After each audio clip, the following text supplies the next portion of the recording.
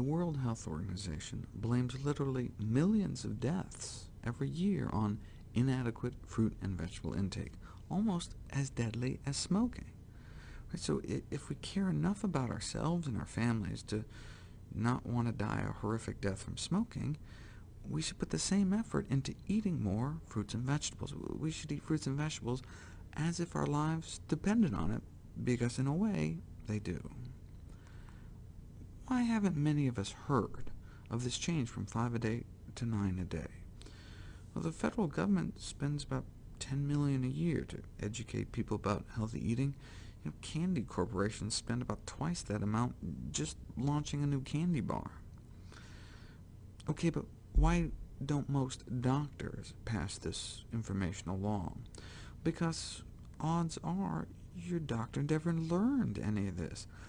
Less than a quarter of medical schools have even a single dedicated course on nutrition, and less than 6% of graduating physicians may have received any formal nutrition training. Out of thousands of hours of preclinical instruction, your doctor may have gotten an average of three hours of nutrition training. There was even a study published in the American Journal of Clinical Nutrition that pitted doctors versus patients in a head-to-head -head test of basic nutrition knowledge, simple uh, true or false questions. Guess who won? The patients. Right? People off the street knew more about nutrition uh, than their doctors. Yet uh, people still ask their doctors for nutrition advice, and what doctors may be telling their patients to eat may be killing them. It wasn't too long ago that doctors were advising pregnant women to smoke cigarettes to, to help with morning sickness.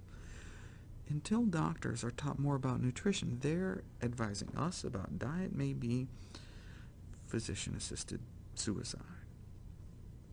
There is one doctor, though everyone trusts, perhaps the most famous physician of all time, Dr. Benjamin Spock, always on the forefront of important social issues. In the final edition of his book, the best-selling book in American history, second only to the Bible, he recommended that all children be raised on meat and dairy-free diets to prevent diseases like cancer.